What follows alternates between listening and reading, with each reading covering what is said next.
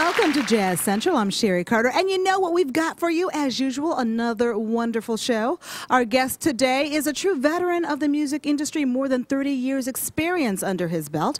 And although he first started off, uh, you know, on the straight ahead jazz thing, he's most famous for his own brand of smooth yet very funky jazz fusion. And his compositions have been heard on various TV and film scores. Ladies and gentlemen, put your hands together for Tom Scott and the LA Express with the title track from their latest CD. This is Smoking Section on Jazz Central.